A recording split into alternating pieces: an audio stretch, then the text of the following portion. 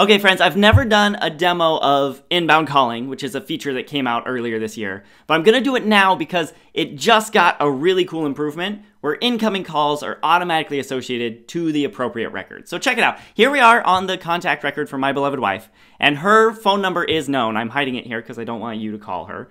Um, but I have her phone here in my hand, and I have my phone here in my other hand. Um, and I'm this phone is my my number is connected to an inbound HubSpot phone number which I have saved in this phone now.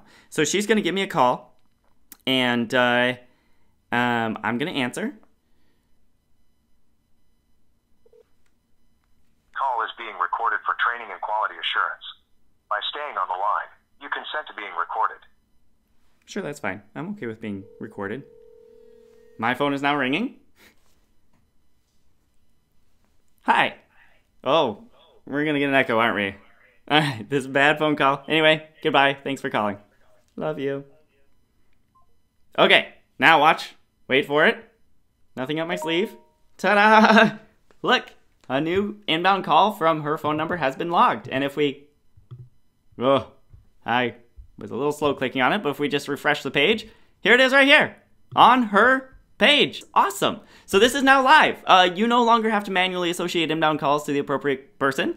Uh, they just work. If the phone number's in there, it'll just work. So check that out. Let me know what you think, and let me know if you have any questions.